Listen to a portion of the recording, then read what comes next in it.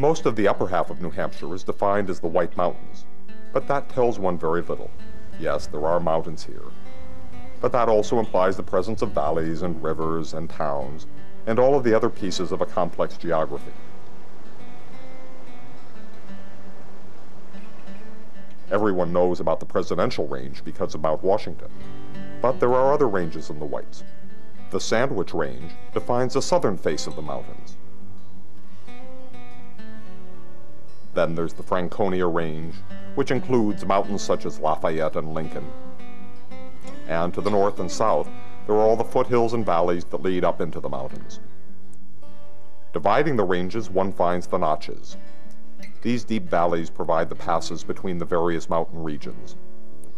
From earliest times, they were the natural roads that provided connections between the towns of Upper New Hampshire and Vermont, and the seacoast capitals at Portsmouth and Boston. The highest of these notches is Pinkham Notch below Mount Washington. This is where most hikers and motorists start their ascent of the presidentials. The next notch to the west is Crawford Notch, which in the last century was the site of the most tourist development in the region. Crawford Notch is probably the most scenic of the notches, and any visitor should look for the Eisenhower Wayside for one of the most dramatic views around. Finally, there is Franconia Notch, with its old man of the mountains and well scenic wonders. This notch has drawn tourists for over 200 years. Today, the state park at Franconia Notch still draws hordes of visitors. Charles Witten has been helping folks to discover the area for the last 20 years. People have been coming to Franconia Notch State Park way before it was a state park in the 1800s. There were many large hotels. Uh, people came to see the old man. They basically came just for the natural beauty. Every day I drive through the notch and see the old man, and I look at the old man's face every day. It's just a lovely place. Some of the things a visitor should see in Franconia Notch State Park are the flume. Flume is a large natural gorge, uh, covered bridges, waterfalls, views of mountains, a nice walking path. A walking trail involves nice gravel graded trail.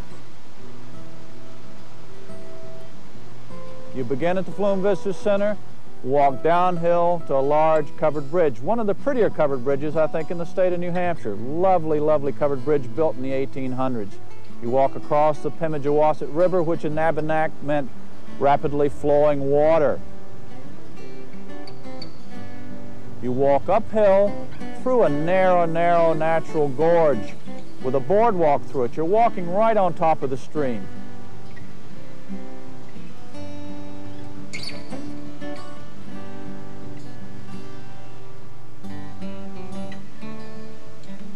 At the top of the gorge, there's a waterfall. From the top of the gorge, you walk through a nice hardwood forest down to the Sentinel Pine Bridge. The Sentinel Pine Bridge is constructed on a large pine tree that was blown down in the 1938 hurricane, one of the few hurricanes, or actually the only hurricane that ever came inland in the state of New Hampshire. Just a lovely walk through woods. As you proceed up the notch, the next stopping point would be the basin.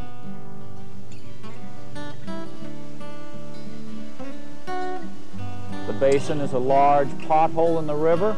Walk into the basin, lots of nice little waterfalls, the basin itself being a big pothole that you can stand right near. The pothole was ground right into the basin of the river and the granite by the water action.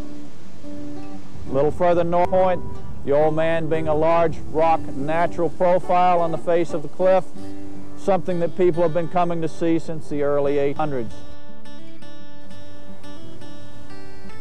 Every moment in Franconia Notch is different than the moment before. Days like today, you have the wind and snow. There's a mystique about it. It's something that's brought people here since before the turn of the century. It's something you just have to experience yourself.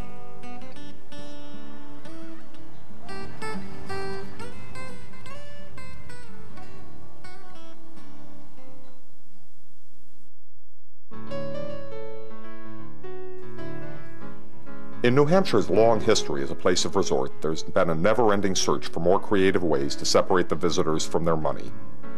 legacy of commercial attractions is one of the keys to the region's history.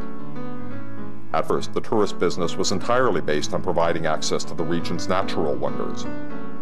The earliest walking trails up Mount Washington were commercial enterprise, as were the later carriage road, the cog railway, and the steamships on Lake Winnipesaukee, all providing access to the wilderness.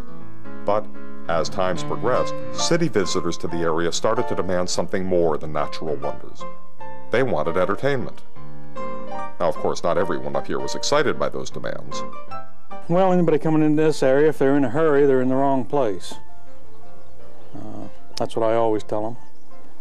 And if they want things the same as what they had them back in New York or Massachusetts, why, that's the place to go, is back to New York or Massachusetts. yeah. I've told a good many that and made some friends and some not so friendly. However, most people need to make some kind of a living in this beautiful but harsh environment. And many of them set about building a tourism industry to meet the visitor demand. At first, anything could be an entertainment. For instance, in the 19th century in Crawford Notch, the Willey family was crushed in a gruesome killer avalanche.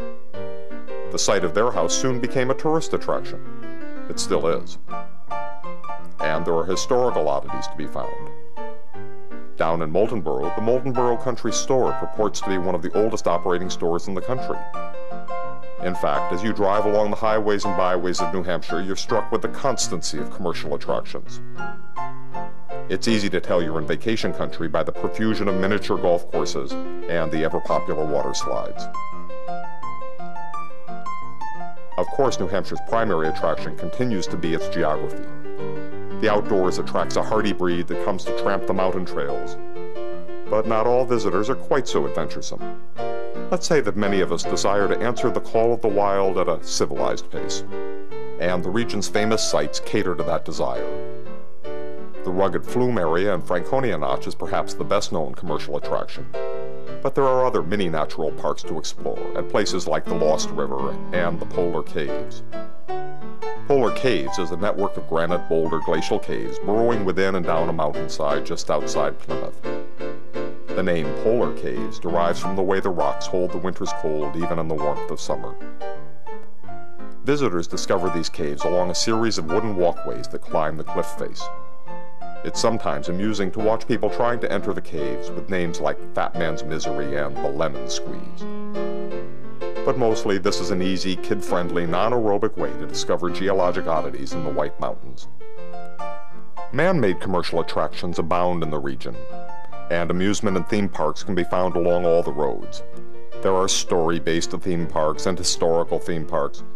Some have been around long enough to be considered historical landmarks in their own right. Clark's Trading Post down in Woodstock has been here for almost three quarters of a century and every visitor to the White Mountains usually gets a view of Murray Clark's trained bears.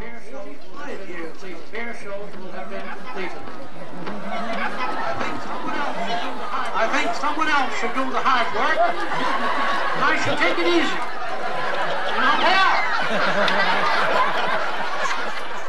In Jefferson, north of the Notches, there's another almost historic attraction. It's Santa's Village. One of the region's oldest family theme parks, it was started as a place where little children could come to sit on Santa's lap in the off-season, peek in Santa's workshop, and pet a reindeer. Today, that simple concept has grown into a full-fledged amusement park with a Christmas theme. Here, visitors can ride on Yule logs for the roller coaster and mount reindeer on the carousel. And after all that, the children can even talk to Rudolph.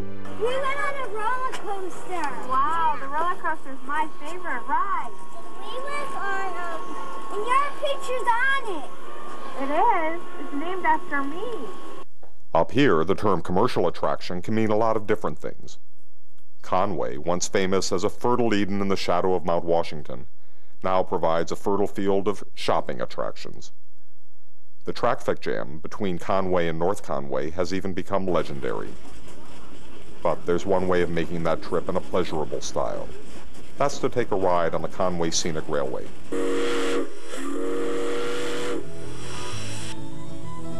Historic railroads are part of a common heritage in New Hampshire. It all harkens back to the days when a network of railroads was used to clear timber out of the White Mountain forests. Those days are long gone, and yet the romance of the rails lives on. Of course, there's the cog railway, it's unique. But there are more. There are railways along the lakes, and there are railways near the traffic. They're part of amusement parks. The most historic of these railroads is to be found up in Conway. Here at the classic old Victorian station, you can find the Conway Scenic Railway. For the present, this old steam train travels merely between Conway and North Conway. But soon the train will be traversing the historic old tracks up into Crawford Notch. This is a great way to relive the old days of steam trains and a simpler, more rhythmic way of travel.